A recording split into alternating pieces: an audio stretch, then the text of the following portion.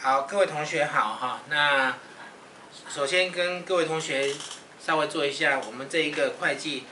呃，在我们资管系的会计的课程主要教什么东西哈？那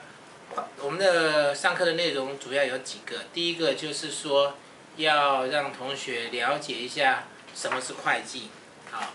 那第二个，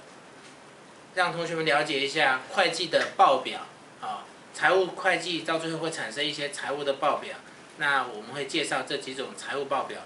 的用，呃，它能够用途，以及我们将来更要去学怎么去编出这几个会计的财务报表。那首先呢，我们会先跟各位同学介绍一下整个会计的一些基本的原则，好，以及会计对公司到底有什么样的影响。以及哪些人会对这个会计的这个编出的报表可能会有兴趣的？啊，这个是我们主要上课的内容。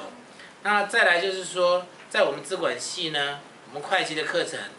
主要是跟我们后续的 ERP 的系统里面有一个财会的模组会有相关系列。那将来学生在后续的会计的模呃 ERP 的会计模组的课程里面。我们就会把整个会计的整个的过程，然后透过 ERP 的系统，透过其他的模组，把它的资料汇入到会计里面。那所以，我们会计主要是让同学们了解，这个学期主要是让同学们了解怎么去记一个会计的账。那将来我们的系统有了以后呢，我们就会去用电脑化来去作业。所以同学们在这一个学期。主要是了解整个会计的整个一个过程，好，从记账到过账，好，到最后编表，到最后以及调整，好，这些相关的一个作业，那同时最后去编织一些财务报表，那主要我们的课程是这个，那我们上课的内容，我们用到的书是，